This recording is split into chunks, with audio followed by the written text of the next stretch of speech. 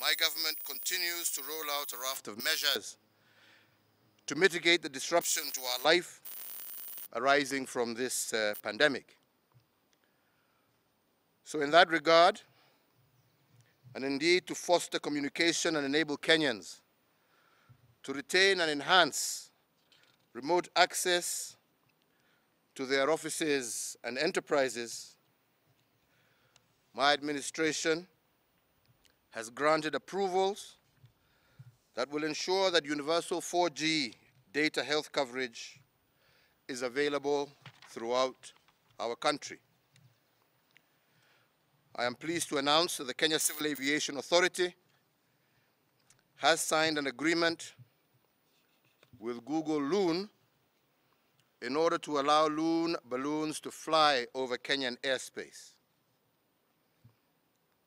These balloons, which will hover well above our commercial airspace, will carry 4G base stations and have the capacity to provide wider signal coverage. This intervention will enable Kenya to retain her competitive advantage in ICT and innovation in the midst of the current crisis, while at the same time laying foundations for greater expansion once the current health challenge is contained. The development will also enable Telkom Kenya and Google Loon to start the commercial rollout of a 4G data network in our country. These two companies have been testing this service for the last two years. Once inaugurated, this service will extend Telkom Kenya's 4G network to areas that are not covered by any of our mobile network providers. Therefore, all Kenyans, wherever they are in our country, will enjoy access to high-speed and affordable internet services. I note the gesture by Google Loon and Telkom to offer their 4G service to support our efforts in surveillance and management of coronavirus infections. And this will go a long way in containing the present health challenge.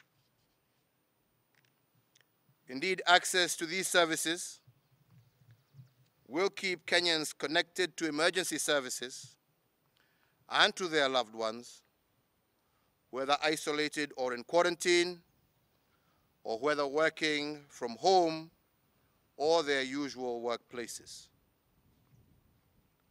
Equally, the use of technology will increasingly become important. Only yesterday, the Kenyatta Diagnostic Center here at Kenyatta Hospital,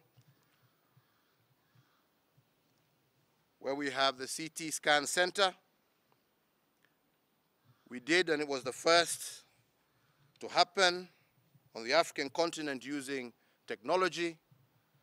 They were able to remotely conference with three centers in China, one in Egypt, another in France, and also with Eldoret, Moi Referral Teaching Hospital, where they were able to exchange with professionals and clinical officers across the world to share both experiences and practical ways in which we can defeat this virus that is upon us. So the use of technology will continue to become increasingly important as we move forward.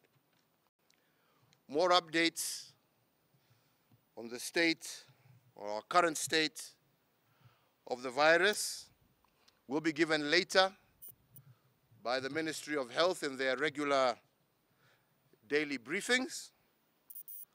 But at this juncture, I cannot but continue to emphasize the need for each and every one of us to follow the protocols that have been laid out by the Ministry of Health.